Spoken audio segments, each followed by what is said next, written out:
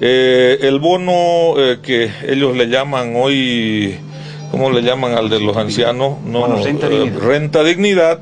Ya, ese es un bono inventado por el MNR y lo único que hizo este gobierno fue cambiarle de nombre.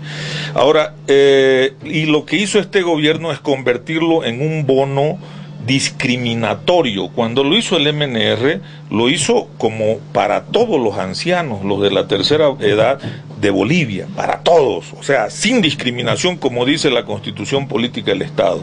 ¿ya?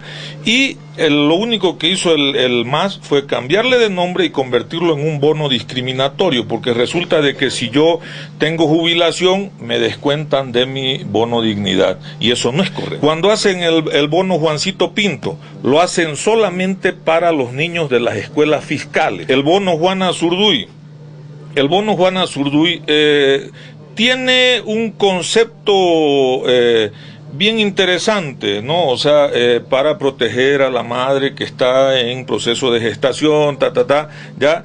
Pero si nos damos cuenta lo que está pasando a diario, y aquí lo vemos cerquita, aquí en el alto, la cantidad de niños abandonados, ya. ¿No será que estamos incentivando con ese bono el tema del el embarazo